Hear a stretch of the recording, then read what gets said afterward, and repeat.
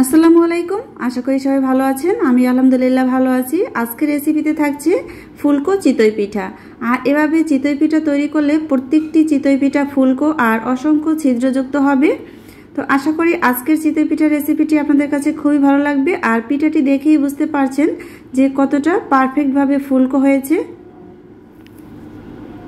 চলুন দেখে নিই পিঠাটি তৈরি করতে কি কি উপকরণ লাগছে। প্রথমে এখানে একটি মিক্সিং বল নিয়েছি, আর এর মধ্যে দিয়ে দিলাম তিন কাপ শুকনো চালের গুঁড়ো, স্বাদমতো লবণ, এখন দিয়ে দিলাম এক কাপ নারকেল কোড়া। এখন এখানে কুসুম গরম পানি দিয়ে খুব ভালোভাবে এটাকে মিক্স করে নিব। তো অল্প অল্প পানি দিয়ে আমি এটাকে প্রথমে মিক্স করে নিব, আর পানিটা কিন্তু একবার দিতে যাবেন না। অল্প অল্প পানি দিয়ে খুব সুন্দরভাবে নারকেল, লবণ আর চালের গুঁড়োটা মিক্স করে নিতে হবে। আর পানিটা কিন্তু এখানে অবশ্যই কুসুম গরম পানি নিতে হবে। তো আমি দুই থেকে তিন মিনিট এটাকে খুব ভালোভাবে মিক্স করে নেব।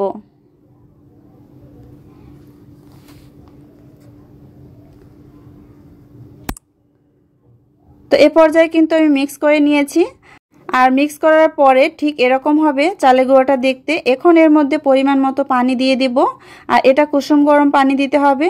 দিয়ে খুব ভালোভাবে হাত দিয়ে মিক্স করে নিব। তো হাত দিয়ে আমি খুব ভালোভাবে মিক্স করে নিয়েছি আর এখন এগুলিকে আমি বেলেন্ড করে নিব। যেহেতু এখানে নারকেলটা আমি দিয়েছি, নারকেলটা বেলেন্ড করলে চালের গুঁড়োর সাথে একদম মিলে যাবে। তো এটা আমি দুইবারে বেলেন্ড করে নিব।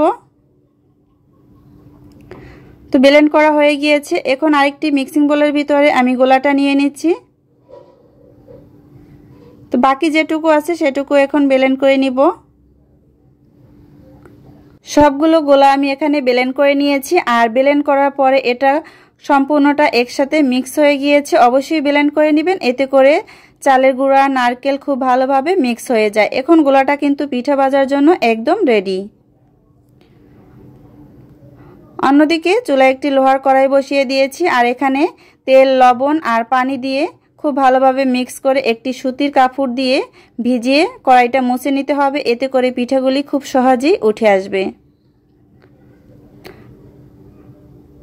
তো মুছে নেওয়ার পরে কড়াইটা আবারও খুব ভালোভাবে গরম করে নিতে হবে আর চুলার আঁচটি এ সময় মিডিয়ামে থাকবে।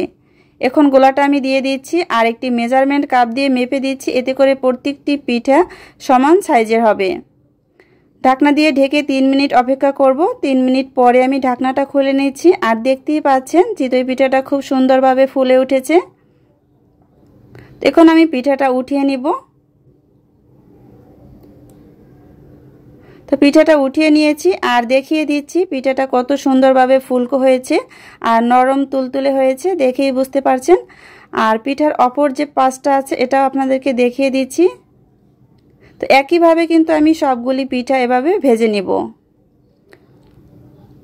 তো আরও একটি পিঠার গোলা আমি দিয়ে দিয়েছি এখানে। তো ঢাকনা দিয়ে ঢেকে এখন তিন মিনিট অপেক্ষা করব। তো তিন মিনিট পরে আবারও ঢাকনাটা খুলে নিব। তো দেখতেই পাচ্ছেন একইভাবে পিঠাগুলি খুব সুন্দরভাবে ফুলকো হচ্ছে। এখন পিঠাগুলি আমি উঠিয়ে নিব। তো পিঠাটা কিন্তু খুব সহজেই উঠে এসেছে। আর এই পিঠাটা আমি দেখিয়ে দিচ্ছি, কতটা নরম তুলতুলে হয়েছে, আর পিঠার অপর পাশটাও কিন্তু পোড়া লাগেনি, একদম পারফেক্ট হয়েছে। একইভাবে আমি সবগুলি চিতই পিঠা এখানে ভেজে নিয়েছি, আর খুব সহজেই কিন্তু তৈরি হয়ে গেল শুকনো চালের গুঁড়ো দিয়ে নারকেলের তৈরি চিতই পিঠা। আর এভাবে যদি আপনি নারকেল দিয়ে চিতই পিঠাগুলি তৈরি করেন, তাহলে খেতে অসম্ভব মজার হয়। রেসিপি ফলো করে আপনারা এই শীতের দিনে একবার হলেও বাসায় ট্রাই করবেন। দেখবেন খুবই ভালো লাগবে। আর এই পিঠাগুলি, প্রত্যেকটি পিঠাই কিন্তু ফুলকো হবে। প্রত্যেকটি টিপস ফলো করে যদি আপনি পিঠাগুলি তৈরি করেন, তো একটি পিঠা আপনাদেরকে ছিঁড়ে দেখিয়ে দিলাম। আর দেখুন, এটা কতটা পারফেক্ট হয়েছে। প্রত্যেকটি পিঠাই কিন্তু একদম নরম, তুলতুলে। আমি আরও একটি পিঠা হাতে নিয়ে আপনাদেরকে দেখিয়ে দিচ্ছি।